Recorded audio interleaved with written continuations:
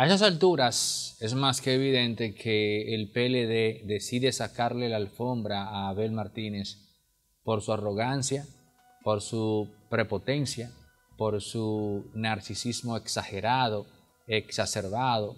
Podemos, eh, podemos describirlo como su heliogabalismo. Ya después que usted dice heliogabalismo, no tiene que decir exagerado, hiperbólico, exacerbado, porque una conducta heliogabalista resume todo eso. Eso fue lo que vendió su figura, o él mismo se vendió como una figura que no, que no evoca confianza. Porque una persona con un narcisismo a ese nivel, bueno, pues es un individuo que cuando tenga poder hará lo que le dé su bendita gana. Porque si es así el asunto, si el asunto es someramente así, cuando él no tiene poder, bien usted puede pensar, ¿y qué no será cuando él en efecto tenga poder? Todos los elementos del PLD, comité político, etcétera, en fin, se quedó solo con Gonzalo Castillo. Y yo entré este comentario con esa reflexión, no porque esto va como leña al fuego de cara a la figura de Abel Martínez, no. Yo entré explicando una razón humana Ahora bien, hay razones políticas. No nos queda claro cuál es en verdad la postura de Charlie Mariotti en torno a una alianza. No sé. No nos queda claro cuál es la postura de Danilo Medina a este segundo en torno a una alianza. Ahora, lo que sí sabemos, sí sabemos, es que Abel Martínez le rechazó una propuesta de alianza a la fuerza del pueblo en donde el candidato del PLD quedaba relegado a un segundo plano. Y me pregunto, yo no sé cuál es la postura de Charlie Mariotti, porque yo no sé cómo le cayó ese no a Charlie. No debe entender. A Danilo Medina no creo que le haya caído mal porque asumo que todavía Danilo no quiere nada con Leonel Fernández. Ahora bien, dicho todo esto, tenemos que sumar un elemento. Francisco Javier García. Miren, hay un factor que delata desconsideración en términos humanos de Francisco Javier hacia Abel Martínez en cuanto a la renuncia. Y es que se presenta, si bien, si bien era cierto que era un tema, un tema que venía de lejos, la presenta apenas días después del deceso de la madre del candidato. Y eso, si usted se coloca equidistante, visto desde, desde fuera, eso no es algo bueno, eso no delata, no revela consideración del director de campaña para, para con, su, con su candidato. Y Francisco Javier García hizo eso.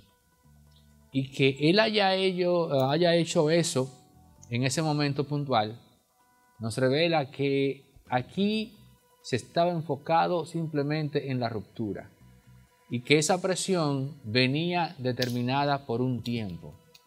Es decir, tiene que ser ahora. No puede ser en dos días, tiene que ser ahora. Tenemos que cerrar este tema ahora. ¡Pam! Y se presenta la carta, aunque ya el mismo Abel Martínez para sí anhelaba eso independientemente de las consecuencias políticas en función de lo que se está diciendo hoy día. Que esa renuncia es el tiro de gracia para sepultar la candidatura de Abel Martínez. Y detrás de esto, ¿qué hay? Hay quienes dicen que ya Francisco Javier García tenía todo pactado con Leonel Fernández. Y que ese no de Abel a esa propuesta que hizo Leonel lo que hizo fue acelerar eso. También. Y que Francisco Javier García, parte de lo que está buscando con esto, es que en una eventual vuelta de Leonel Fernández al PLD, Francisco Javier termine siendo el presidente del partido. Y todo porque a Francisco Javier, a esta altura de su vida, lo que se le ha ocurrido es, o con lo que se le ha cogido es con ser presidente del Partido de la Liberación Dominicana. Él entiende que si bien es cierto, no puede ser presidente del país, digo yo, ¿no? Pues al menos le toca hacer eso. Presidente del Partido de la Liberación Dominicana. Y esta renuncia no es más que la puerta de entrada para una bendita alianza con Leonel Fernández. Eso es lo que se está diciendo. Eso es lo que se sospecha. Oigan eso. ¿Habrá dado Francisco Javier ese paso? Permítanme decirles que yo no lo creo. Ahora bien, a pesar de que yo no lo crea, si hay algo que yo he aprendido de la política dominicana es a no dar nada por eh, em, bueno y válido tal cual se nos pinta. ¿Ustedes imaginan eso? Que todo este tiempo Francisco Javier haya estado fingiéndole Abel Martínez. No creo. Si finalmente hay un pacto con Leonel, con toda seguridad eso se dio cuando Francisco Javier entendió que, que iban a pasar dos cosas. Abel no iba a aprender y que era preferible desde ahora hablar de una alianza antes que abocarse a otro proceso para buscar a un candidato presidencial. Hay quienes estarían viendo esto, me refiero a la caída de Abel Martínez, como una excelente oportunidad para proponer una alianza y que venga un único candidato. Evidentemente, ese candidato no sería otro más que el propio Leonel Fernández, que como bien dijo José Laluz, este asunto de entrada a quienes benefician es a Luis Abinader y a Leonel pero a Leonel lo beneficia más si le permite o le allana el camino para que se dé la alianza, siendo él el candidato presidencial del PLD, que es lo que pretende, ya sacando de circulación a Abel Martínez.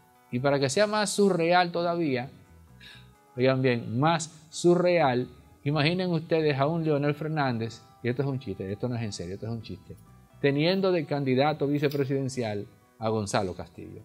Les tengo una muy buena noticia de Farmacia Medicar GBC. Ya tienen su app. Vayan a Google Play y a, la, tienda de, Android y también a la de Apple y descarguen desde ya la aplicación de Farmacia Medicar GBC. Ahí podrán seguir disfrutando a partir de compras de 300 pesos del 20% de descuento en todos sus medicamentos. La Farmacia Medicar GBC llega a tu celular, descarga la app y pide tus medicamentos a través de ella. Farmacia Medicar GBC, la de nosotros los dominicanos. Su pelotedón, su pelotedón, necesito ayuda. Viene el Día de las Madres y no tengo dinero. Lotedón te tiene la solución para que te mantenga frío con la doña. Locutor, Explícale. Con gusto, Superlotedom. Agarra cuatro una vez más te enfría con mamá con un millón semanal. Al realizar tus jugadas de la Garra 4, generas un código para participar por un millón gratis que estaremos sorteando todos los domingos del mes de mayo del 2023. ¡Bien! Pelotedón. Genera tus códigos semanales desde el primero de mayo. Sorteos los domingos 7, 14, 21 y 28 de mayo. Lotedom, tu lotería de las dos. Señores, les recuerdo que tenemos la quinta pata. Suscríbanse a la quinta pata justo encima de mi dedo. José Maracayo, Fernando González, Edwin Cruz y Mario Herrera hablando de todo, pero no como todos, pero para que sepan de qué va la quinta pata. Acá les dejamos un fragmento de uno de los tantos comentarios que hacen en su canal de YouTube. Bueno, muy buenas noticias para la República Dominicana. Son muy buenas noticias. ¿Cómo cuál? Como la que tú me acabas de dar. Eso que estábamos hablando, eso es una excelente noticia para la República Dominicana porque, bueno, di una noticia para que tú mismo entiendas. Pero yo me confundí. Yo les estaba compartiendo que el gobierno de Quintana Roo, eh, específicamente en Cancún, es donde se encuentra, muy poca gente conoce en dónde se encuentra Cancún. Siempre van Cancún, Cancún, pero no saben que pertenece al estado de Quintana Roo. El estado de Quintana Roo es muy, muy grande. Entonces el gobierno de, de, Cancún ha prohibido los conciertos públicos de diferentes géneros, rock, rock eh, dembow, eh, reggaetón, los famosos corridos tumbao que eh, ahora están muy en auge, muy de moda, muy virales. donde se traten temas de violencia, de sexualidad, de droga, de prostitución, todo ese tipo de antivalores, digamos, están prohibidos eh, los conciertos de esos grupos que utilicen ese tipo de letras. Y me llamó muchísimo la atención porque Cancún eh, es uno de los centros turísticos más importantes de México y de Latinoamérica. Tenemos demasiados eh, miles de visitantes al año que van precisamente a eso, a los conciertos, al spring break, a las fiestas, a las discotecas, a disfrutar de esas playas tan bonitas que hay en esa parte de México.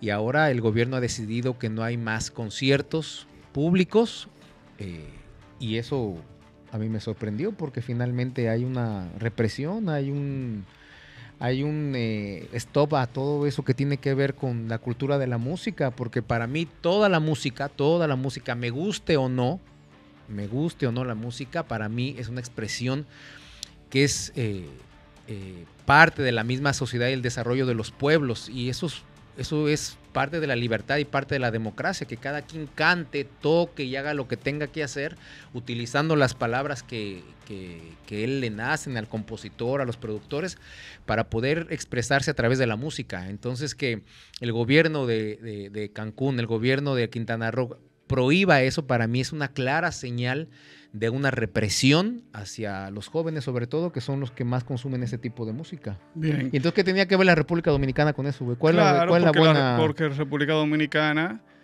es uno de los destinos turísticos más eh, importantes del, del continente. del, Caribe, sí. del continente. Y Cancún, en estos últimos años, ha tenido como un repunte. Un repunte especialmente en las clases eh, media, la clase media, porque antes Cancún empezó como los, ricos, de la clase alta eran los que podían ir ahí. Cancún luego tuvo una decadencia y ahora, hace unos cuantos años, mucha gente de clase media eh, ha empezado a ir a Cancún nuevamente, ¿no? Y especialmente esa clase media son nuestros clientes en cuanto a turismo. Entonces ha habido una competencia entre Cancún y la República Dominicana. ¿Tú te acuerdas la famosa campaña negativa que se hizo contra el país? Se identificó, mucha gente identificaron que parte de esa campaña partía desde México, especialmente de Cancún. Sí, sí, había un lobby, un lobby pesado, o sea, las muertes en 2019 de ciudadanos estadounidenses, eh, se supone que, que, con alcohol adulterado. Había muchas teorías sobre esas muertes y, y, de, algo, y de alguna forma se decía así que estaba involucrado un lobby eh, mexicano específicamente. Entonces, obviamente, digo, buenas noticias. Para que, porque esos turistas, para que los turistas puedan venir a la, a la República Dominicana. Claro, porque me parece que es una estupidez, es darse un tiro en el pie de parte de la gobernación de Cancún poner una ley así a, un, a una localidad turística, porque eso va evidentemente a afectar su, su tránsito turístico. ¿Y para dónde van a venir? Y no, y, al, otro destino más posible. Y no, solamente, no solamente para el turista, simplemente para los mismos nativos, para la misma gente, jóvenes que viven en, Quintana Roo, específicamente en Cancún, porque lo digo porque Quintana Roo es muy grande, ¿eh? o sea, es demasiado grande. Tú trasladarte del centro de Quintana Roo a Cancún está lejos, o sea, no creas que es aquí eh, a la vuelta, es, es lejos eh, trasladarse de un lugar a otro. Y hay mucha gente que tiene ese estado y jóvenes jóvenes que estoy seguro consumen mucho música y sobre todo esta música ahora nueva, urbana y rock, que los mexicanos siempre han sido muy consumidores de rock, pero eh, me llama mucho la atención porque a lo mejor tiene que ver con la, con la gobernadora que la señora tiene, no es tan, no es tan vieja, tiene 54 años, la señora eh, eh, Lezama se apellida, no me acuerdo el nombre ahora mismo, creo que es Mara. Mara Lezama, eh, eh, que nació en la Ciudad de México, pero se fue a vivir acá a Quintana Roo y ahora es gobernadora del estado de, Quintana Roo. Entonces, si ella quiere de alguna manera como eh, rescatar los valores de, la, de las familias mexicanas, si ella quiere poner, digamos, un stop a todos esos antivalores que las música de ahora, sobre todo el urbano, nos está presentando este tipo de letras de violencia y demás, que todo el mundo sabemos, si ella pretende o todo el gobierno pretende que al reprimir esta, esta cultura de la música va a impedir que el joven mexicano eh, no pase a ese tipo de situaciones como de ser quizá promiscuo, que se dedica a la violencia, etcétera, yo creo que va a ser muy, muy estúpido. Porque el que va a ser delincuente lo va a hacer con música o sin música. El que quiere tener sexo a temprana edad lo va a tener con o sin música de alguien que le esté incitando a tener sexo, etcétera, etcétera.